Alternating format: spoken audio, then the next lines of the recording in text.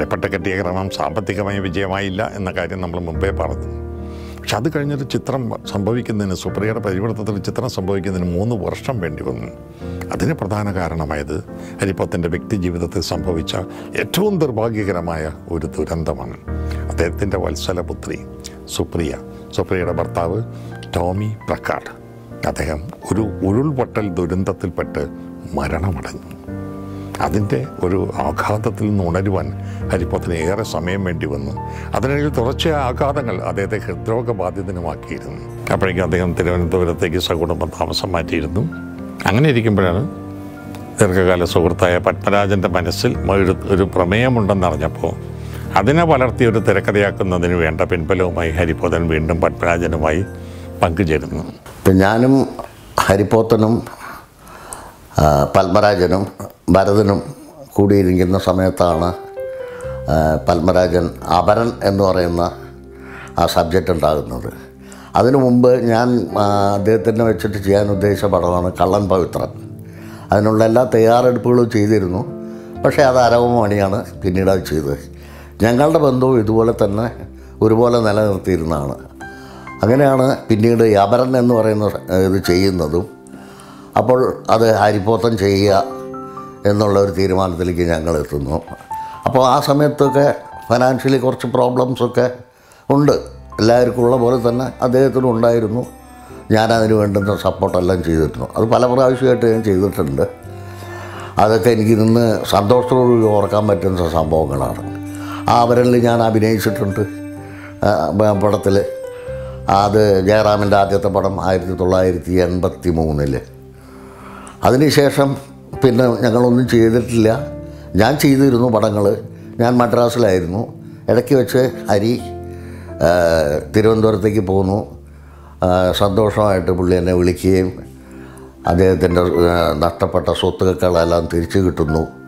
അതിനുള്ള ഗവൺമെന്റിന്റെ sale tax പ്രശ്നങ്ങളെല്ലാം തീർന്ന് അതെല്ലാം തിരിച്ചു കിട്ടുന്നു. അപ്പോൾ എന്നോട് പറഞ്ഞു നമ്മുടെ ബാധ്യതകളൊക്കെ തീരുകയാണ് മേനോന്റെ ബാധ്യതയും ഞാൻ തീർത്ത് നമുക്കൊരു പുതിയ തുടക്കം കുറിക്കണം പടങ്ങൾ എടുക്കണം എന്ന്. ഞാൻ പറഞ്ഞു വളരെ നല്ല കാര്യം സന്തോഷമാണ്.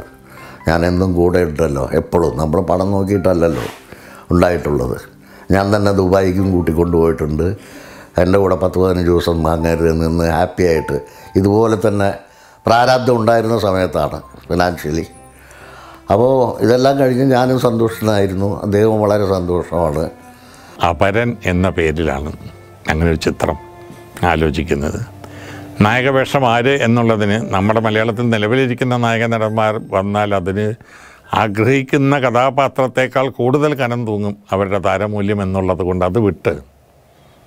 പെട്ടെന്ന് മനസ്സിൽ തോന്നിയ ദക്ഷിണേന്ത്യയിലെ അല്ല ഇന്ത്യയിലെ തന്നെ ഒരു മികച്ച നടന്റെ പേര് അവരുടെ മനസ്സിൽ തോന്നുകയും അദ്ദേഹത്തെ തേടി പോവുകയും നിർഭാഗ്യവശാൽ അദ്ദേഹവും ഈ ചിത്രവുമായി ഒരുമിച്ച് പോകുവാനുള്ള സാഹചര്യങ്ങൾ ഉരുത്തിരിഞ്ഞ് വരാത്ത സാഹചര്യത്തിൽ അത് ഉപേക്ഷിക്കുകയും ചെയ്തപ്പോൾ മറ്റൊരു നിർമ്മാതാവും കാണിക്കത് ഇന്ത്യയിലെ തന്നെ ഏറ്റവും താരമൂല്യമുള്ള ഒരു നടനുമായി ഇതിനെക്കുറിച്ച് ചർച്ച ചെയ്ത് കഴിഞ്ഞ ശേഷം അത് മുന്നോട്ട് പോകുന്നില്ലെങ്കിൽ അതിന് ബദലായി മറ്റൊരു താരത്തെ കണ്ടെത്താൻ ശ്രമിക്കുന്നതിന് പകരം ശങ്കൂറ്റമുള്ള നിർമ്മാതാവായ ഹരിപ്പോത്തം പറഞ്ഞു നമുക്കൊരു പുതുമുഖത്ത് വെച്ച് ചെയ്യാം.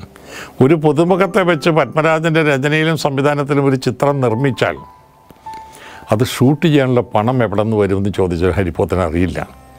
അതാര് വിതരണത്തിനെടുക്കും എന്നുള്ളതിനെക്കുറിച്ച് ഹരിപ്പോത്തൻ ചിന്തിച്ചിട്ടില്ല.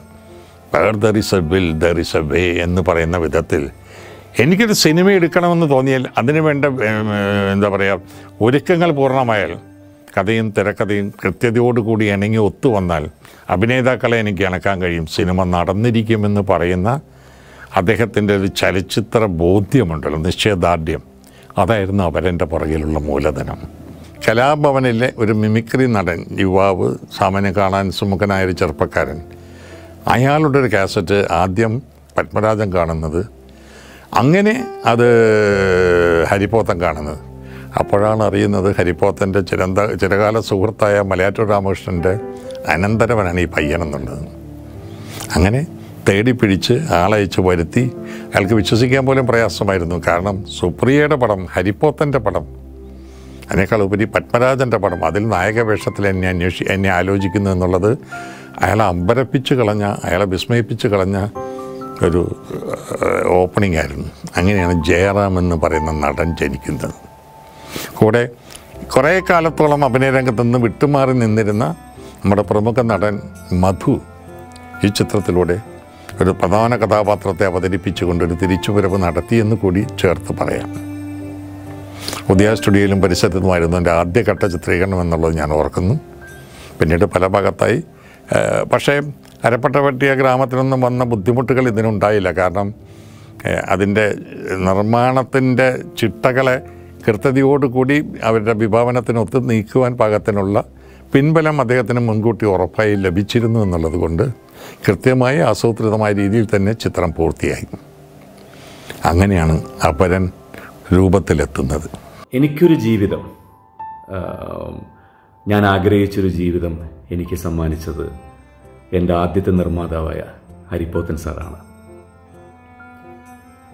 വെറും ഒരു നിർമ്മാതാവ് എന്ന് ഞാൻ അദ്ദേഹത്തെ പറയില്ല.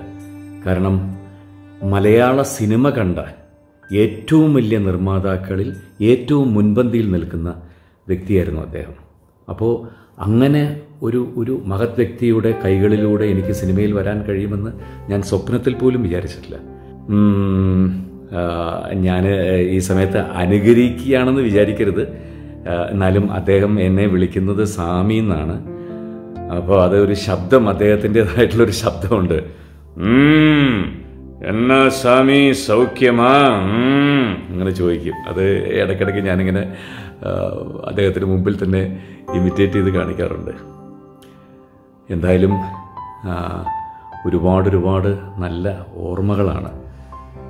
ഇതൊക്കെ തന്നെയാണ് ജീവിതത്തിൽ സൂക്ഷിച്ചു മരണം വരെ സൂക്ഷിച്ചു വയ്ക്കാനുള്ള നല്ല നല്ല ഓർമ്മകളൊക്കെ.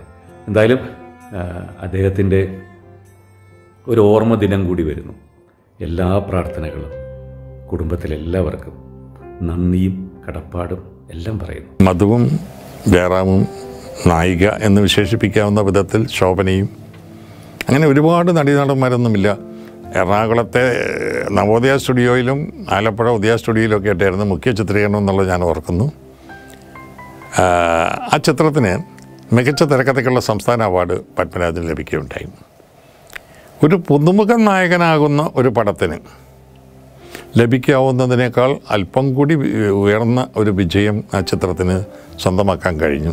പക്ഷേ അപ്പുറവും ഇപ്പുറവും അടങ്ങുന്ന കൂടുതൽ ജനപ്രീതിക്കുള്ള ചേരുവകൾ ചേർന്ന ചിത്രങ്ങളുമായി താരതമ്യപ്പെടുത്തുമ്പോൾ ഹരിപ്പോത്തിന് പോറലുകൾ ഏൽപ്പിച്ചില്ല എന്നതിനപ്പുറം ഏറെ ചർച്ച ചെയ്യപ്പെട്ട ഒരു ചിത്രമായി എന്നതിനപ്പുറം ജയറാമിന് നായക നിരയിലേക്ക് കടന്നു വരുന്നതിന് വാതിൽ തുറന്നു കൊടുത്തു എന്നതിനപ്പുറം ആ ചിത്രം ഒരു വിജയമായി എന്ന് അവകാശപ്പെടാനാവില്ല ഏതായാലും അപരൻ ജയറാമിനെ സംബന്ധിച്ചിടത്തോളം ചലച്ചിത്ര ലോകത്ത് നിർണായകമായൊരു ശക്തിയായി സ്വാധീനമായി സാന്നിധ്യമായി മാറുന്നതിനുള്ള ആദ്യ ചുവടിന് ഒരു ഉറച്ച ഭൂമിക പകുത്ത് നൽകി എന്നുള്ളതാണ് ചലച്ചിത്ര ചരിത്രത്തിൽ നമ്മൾ കാണുന്ന പ്രധാന വശം.